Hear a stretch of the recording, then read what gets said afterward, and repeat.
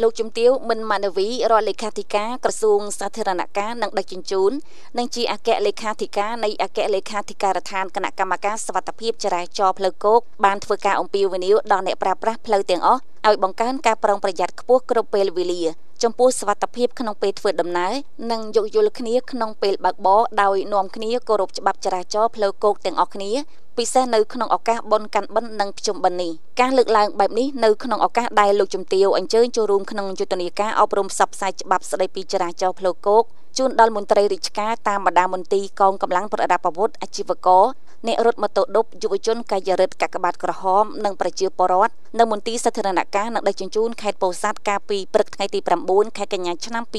2020បន្ទាប់ពីរបាយការណ៍របស់លោកកាងពេញហៈប្រធានមន្ទីរសាធារណការនិងដឹកជញ្ជូនខេត្តពោធិ៍សាត់រួចមកលោកខូរីដាអភិបាលរងនៃគណៈអភិបាលខេត្តនិងជាប្រធានអនុគណៈកម្មការសវត្ថភាពចរាចរណ៍ផ្លូវគោកខេត្តដែលអញ្ជើញចូលរួមជាគណៈអធិបតីដែរនោះបានមានប្រសាសន៍ថា ការងារសវត្ថភាពចរាចរណ៍ផ្លូវគោកគឺជាបញ្ហាសុខភាពសាធារណៈដែលជាការងារអភិវឌ្ឍចម្បងទាមទារឲ្យមានការយកចិត្តទុកដាក់ខ្ពស់គណៈមនុស្សស្លាប់ដោយគ្រោះថ្នាក់ចរាចរណ៍នៅតែមានចំនួនច្រើននិងកើនឡើងយ៉ាងខ្លាំង។បញ្ហាចាំបាច់ចំពោះមុខត្រូវតែរួមគ្នាដោះស្រាយព្រោះបញ្ហានេះមិនមែនជាភារកិច្ចផ្ដាច់មុខរបស់ក្រសួងខេត្តឬស្ថាប័នណាមួយនោះទេ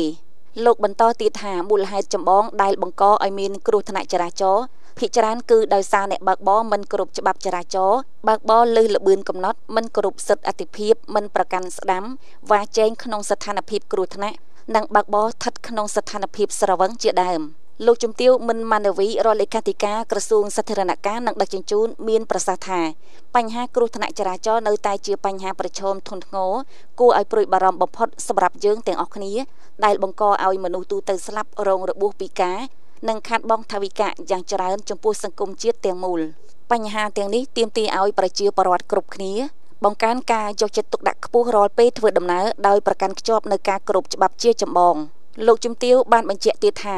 គ្រោះថ្នាក់ចរាចរណ៍ច្រើនកើតឡើងនៅក្នុងពេលមានពិធីបុណ្យជាតិធំធំដែលពេលនោះបងប្អូនប្រជាពលរដ្ឋបានធ្វើដំណើរច្រើនតាមដងផ្លូវខុសពេលធម្មតាគ្រោះថ្នាក់ចរាចរណ៍មិនដែលប្រកាន់ថាកើតមានតែនៅតាមផ្លូវជាតិឬផ្លូវកៅស៊ូនោះទេ